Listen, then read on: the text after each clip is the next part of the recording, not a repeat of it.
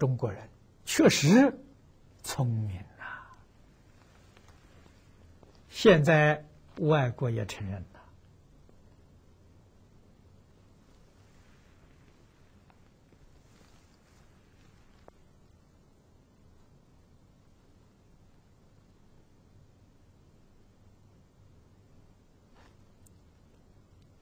八三年，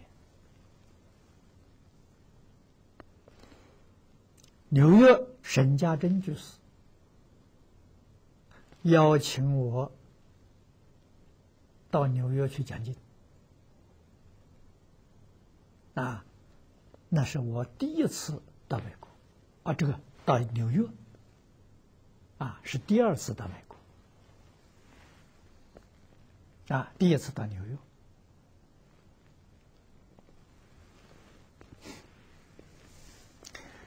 他请我吃饭，啊，就有一个当地美国人跟我讲啊，哎，他说法师啊，现在我们西方人对中国人的看法了，跟上一代的不一样了。我说怎么不一样？上一代的人对中国人歧视、瞧不起，啊，认为中国人没有智慧、没有能力，啊，未开化的国家。现在我们懂得了，啊，中国人很了不起。他说：“全世界一个一个比，中国人第一。”啊，居然是这一百八十度的转过来了。哎，接着他就说了：“哎，两个人两个人比呢，犹太人第一；三个三个比呢，日本人第一。”最后说了一句风凉话：“你们中国人为什么不团结？啊，还是瞧不起中国人？啊，肯定中国人的聪明智慧，中国人的才干，啊，瞧不起中国人一盘散沙，不团结。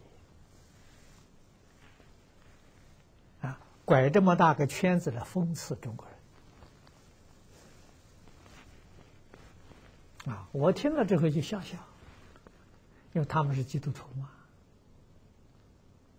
我回答他，他问我为什么不团结，我说上帝安排的。啊，他非常惊讶，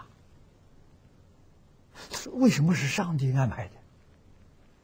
我说中国人要团结起来，你还有饭吃啊！大家哄堂一笑，但是。他这个话很值得我们反省啊！中国人确确实实自私自利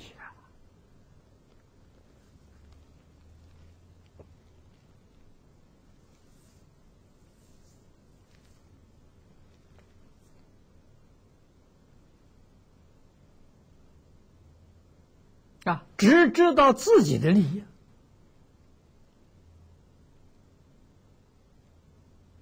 不晓得有国家的利益，不晓得有族群的利益，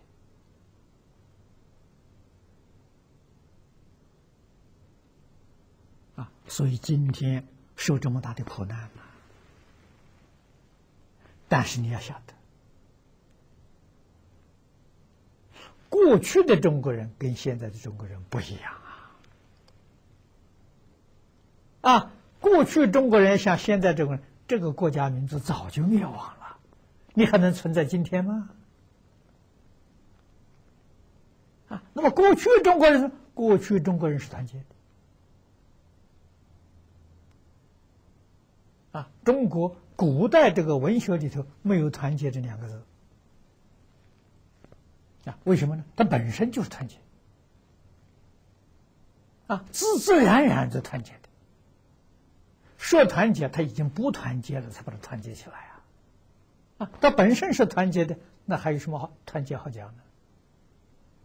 啊，这话怎么说呢？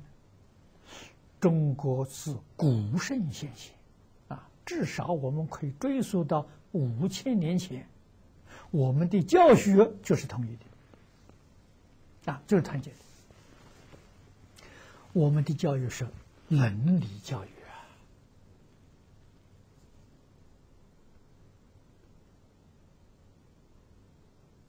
啊，伦理是讲五伦呐。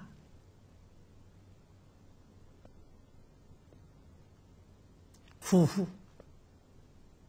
父子、兄弟、君臣、朋友，啊，这中国人常讲的五伦呐。五伦就是团结啊，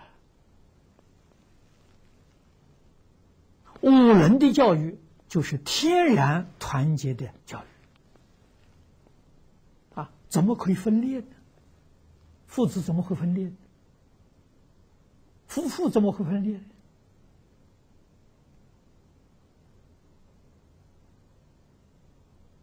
啊，君臣是道义的结合，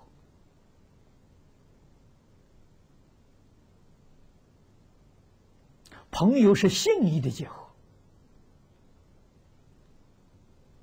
所以他本身呢，这个教育啊，从小就教你啊，啊，是个团结的概念观念呐，这个观念永远不会破碎呀。